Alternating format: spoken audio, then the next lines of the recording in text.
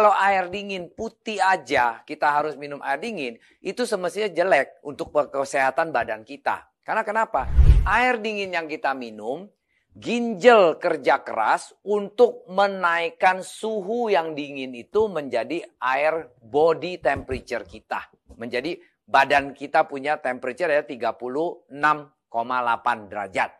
Berarti yang kerja keras itu air dingin yang masuk ke badan kita dihangatkan dulu oleh ginjal. Ginjal naikin suhunya dulu, baru bisa masuk ke darah-darah kita, ke badan kita. Baru kita darah kita bisa sedot mineralnya dan lain-lainnya.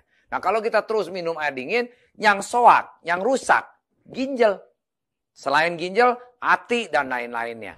Apa yang terjadi? Ini yang di, uh, kalau kita menurut survei, yaitu air dingin akan menutup empat urat-urat jantung kita yang menyebabkan serangan jantung.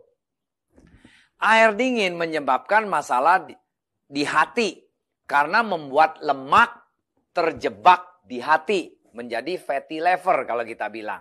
Karena kalau minyak-minyak atau lemak-lemak udah disaring di liver, nah kena dingin, but langsung beku menjadi fatty liver sekeliling kita punya hati. Itu not good, jelek.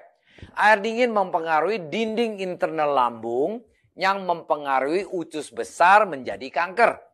Wah, serem loh kalau kita ngerti itu. Ternyata air dingin itu not good untuk badan kita.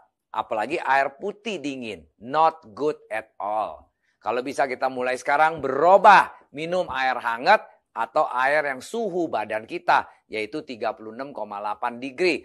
Itu ginjal kita kerja bagus, jantung kita jadi bagus, kita punya hati juga bagus, lambung juga jadi bagus. Nah, solusinya apa dong? Karena air hangat itu bagus banget. Bagaimana caranya? Kalau menurut riset dari dokter-dokter Jepang, air hangat itu bisa menghilangin migrain.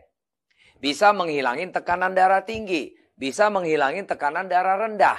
Kedua juga, nyeri sendi termasuk detak jantung pun bisa distabilkan dengan air panas atau air hangat.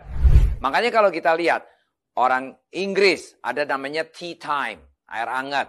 Nah, orang Jepang minum green tea.